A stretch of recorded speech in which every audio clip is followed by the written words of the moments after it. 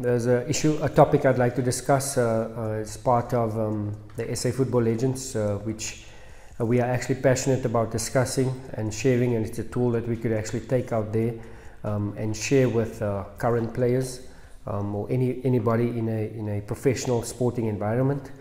Um, and we're going to tap into personal experiences. You know how important it is um, for you to start saving. We always say um, you have to have things in place for after football. And when does it start and what is the right time?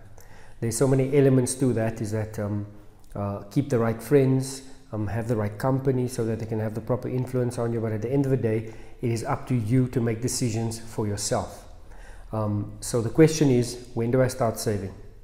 Immediately. The minute you start earning a salary is when you need to start um, adjusting your, your life and making space for that saving. So these are some of the elements that we would really like to share because um, if we stand in front of a, a, team and we're able to assist one or two players, we've made a difference. So I think that is it's so important in every aspect, and I think um, the guys on the panel, including myself, I can attest to that. Not having saved early enough, even if I had savings, when did I start realizing that I need to now plan for post football.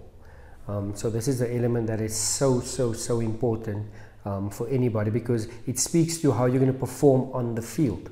If you know that financially you're not stable, um, you become desperate. It leaks into your game. It leaks into your family life if you are married or not. It leaks into the family that you have now assisted to a different level financially. Um, so it's uh, one of the massive, massive points that uh, we would like to add and offer to, to um, current players.